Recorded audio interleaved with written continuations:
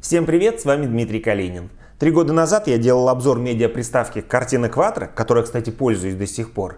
Но время не стоит на месте, и недавно была представлена новая приставка Картина X, и я просто не смог пройти мимо, потому что, во-первых, она работает на базе знаменитых медиаприставок Dune HD, а во-вторых, здесь установлена операционная система Android. Что из этого получилось? И стоит ли менять свою Картина Quattro на Картина X, узнаем прямо сейчас.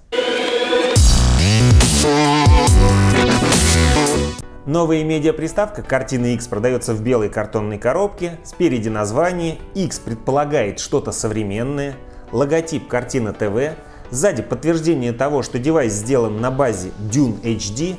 Эта легендарная компания работает на рынке уже более 10 лет. Теперь эта медиаприставка поддерживает разрешение 4К, ну осталось самая мелочь купить 4К телевизор тысяч за 100. Есть HDR, поддерживается высокоэффективное кодирование видеоизображений и работает все это на Android. Давайте посмотрим комплектацию. Итак, сразу идет краткое руководство. Сама медиаприставка картины X. Ну, вернемся к ней чуть позже. Вот так она выглядит.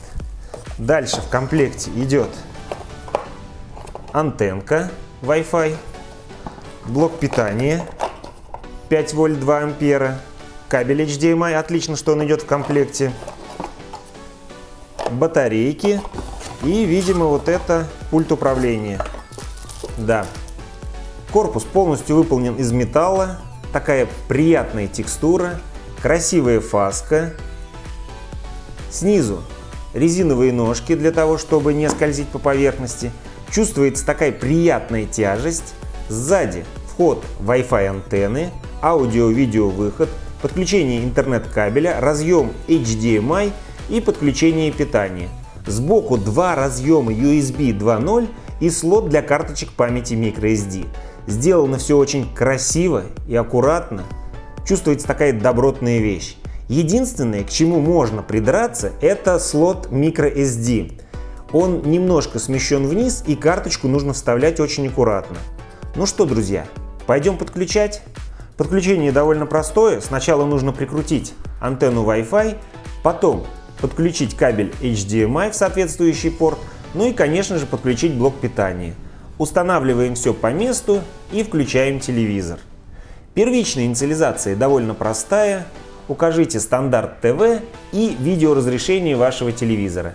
Сразу хочу сказать, если вы подключаете через аудиоресивер, как у меня, то могут быть проблемы, если вы выберете более высокое разрешение, чем поддерживает ваш телевизор.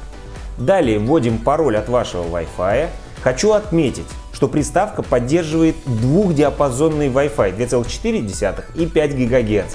И если у вас хороший сигнал, то, конечно же, выбирайте 5 ГГц. Приставка сама ищет обновление, обязательно установите последнюю версию прошивки. В ней исправлено ну множество просто багов. Во время обновления приставка будет перемигиваться красным и синим цветом. Далее вводим пароль и логин от сервиса Картина ТВ и идет подключение к видеосервису. И осталось только выбрать качество видеоизображения. Приставка поддерживает адаптивный протокол передачи данных DASH, который автоматически подстраивает качество изображения под ваше интернет-соединение, при этом вещание не прерывается. Еще одним из важных преимуществ DASH – возможность смотреть прямой эфир с паузой и перемоткой.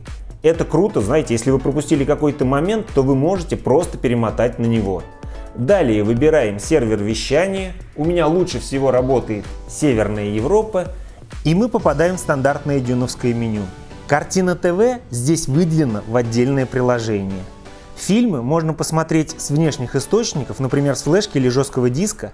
Однако огромный минус в том, что если у вас закончилась подписка на сервис Картина ТВ, вы не сможете войти во внешние источники.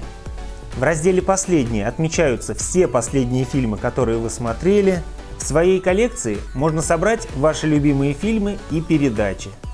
Приложениях можно установить дополнительные приложения, однако несмотря на то, что здесь установлен Android, Google Play Market здесь, к сожалению, нет. Устанавливать придется через флешку вручную, это не совсем удобно. Ну и настройки. Здесь вы можете изменить видеоразрешение, параметр подключения к сети, параметры абонента Картина ТВ. В дополнительных настройках, например, вы можете поменять тему, а также проверить, появились ли новые прошивки. Ну что ж, посмотрим, какие возможности предоставляет сервис Картина ТВ и чего нового появилось за эти годы.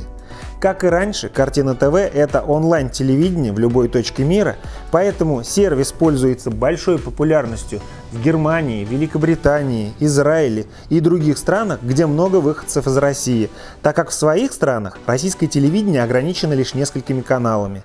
Также «Картина ТВ» заинтересует гостей из стран ближнего зарубежья, Украины, Белоруссии, Казахстана, Армении, Азербайджана, Узбекистана, ну и так далее, которые находятся на территории Российской Федерации и хотели бы посмотреть свои национальные каналы на родном языке. Enerji, Bu mənə yetər. Пользование сервисом Картина ТВ платное и по российским меркам неоправданно дорого. Если вы пользуетесь цифровым телевидением МТС или Ростелеком, то Картина ТВ не для вас. Но по меркам целевых стран 190 евро в год не так уж и много. За эти деньги вы получаете доступ к более чем 150 каналам России, стран СНГ, ближнего и дальнего зарубежья, а также два онлайн-кинотеатра и собственную видеотеку. Ну и, конечно же, множество радиостанций. Также вы можете бесплатно загрузить YouTube и Netflix и пользоваться их сервисами. Все каналы отсортированы тематически, долго искать не придется. И есть здесь и спортивные каналы, и музыкальные, и развлекательные, и детские, и даже эротические.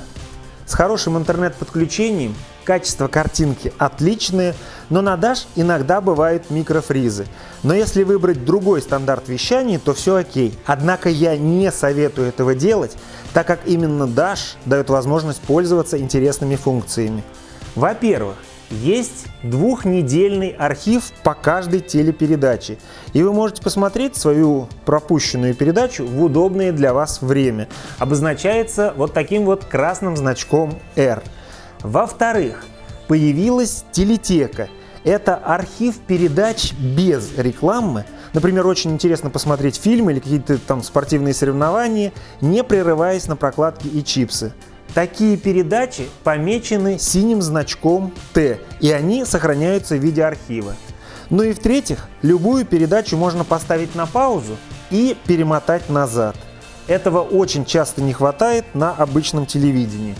Но и это еще не все. Вы можете воспользоваться сервисом Картина ТВ со своего мобильного телефона или планшета дома или в дороге при помощи бесплатного приложения Картина ТВ как на Android, так и на iOS. 4G интернета хватает за глаза. И что особенно классно, теперь доступны архивы и даже телетека. Раньше такого не было. Смотреть Картина ТВ можно и на компьютере. Для этого нужно скачать приложение Картина ТВ Player, которое доступно на Windows, Mac и Linux. О видеосервисах Видеотека, Иви и Старт рассказывать особо нечего, вы их и так прекрасно знаете. Супер новинок здесь, конечно, нет, но многие фильмы этого и прошлых годов можно посмотреть в отличном качестве. Все фильмы отсортированы по категориям и есть поиск. Подведем итог. Сервис Картина ТВ развивается, дополняясь новыми функциями и оборудованием.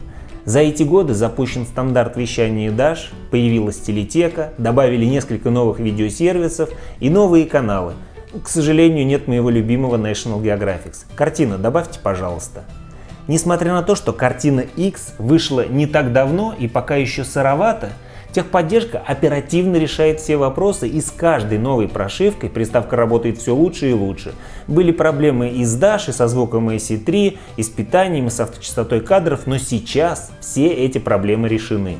Стоит картина X 50 евро, и если вы обладатель приставки картина Quattro, то покупать новую приставку имеет смысл, если у вас есть 4К телевизор. Кстати, в сочетании с годовой подпиской приставка может стать отличным подарком на Новый год. И на этой оптимистичной ноте я заканчиваю подробный обзор новой приставки Картины X. Добавлю, что благодаря сервису Картина ТВ вы можете смотреть любимые телеканалы в любой точке мира.